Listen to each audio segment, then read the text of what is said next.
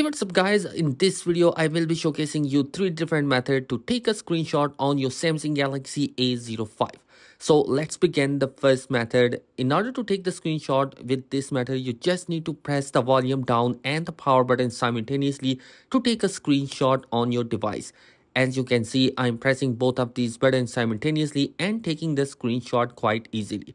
Do note that if you press and hold both of these buttons continuously, then the power menu will appear and you cannot take the screenshot because of that. You just need to press both of these buttons immediately and release them and you can take the screenshot quite easily. The second method to take the screenshot is using the quick panel. To use this method, you just need to swipe from top and you will see a take screenshot button in here. Just tap on that and you can easily take the screenshot using that particular method.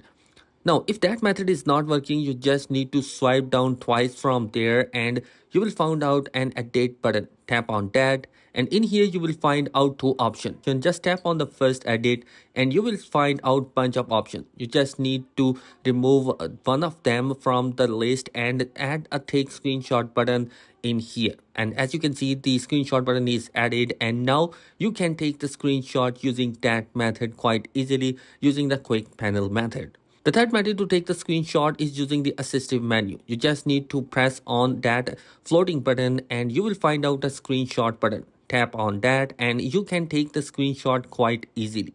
Now, this method is really, really simple and if that method is not working for you, you just need to open up your settings and scroll down towards the accessibility in here you will find out the interactive and dexterity option. Just tap on that and in here you will find out assistive menu. Tap on that to turn it on and you will find out the assistive menu appearing on your device. Just tap on that and take the screenshot quite easily. So guys that is in this particular video. I hope this video has helped you out in some way. Thanks for watching. Be sure to subscribe. Peace